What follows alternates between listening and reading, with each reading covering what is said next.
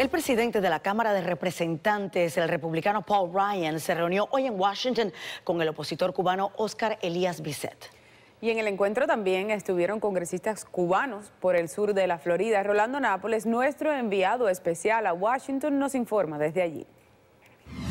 El presidente de la Cámara de Representantes, el republicano Paul Ryan, se reunió con Oscar Elías Bisset tras las denuncias del opositor cubano en el Congreso del aumento de la represión en Cuba, pese al deshielo con Estados Unidos. La esencia del régimen es la misma, un régimen represivo, un régimen que se sustenta en el terror de Estado para aplacar las voces disidentes y para restringir violentamente el deseo de libertad del pueblo cubano.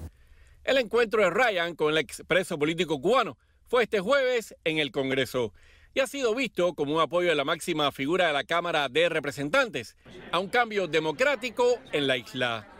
Eso se transforma a la misma vez en una influencia sobre la política norteamericana. Todos esos congresistas con que él se reunió, eh, pues ahora ya tienen otra perspectiva.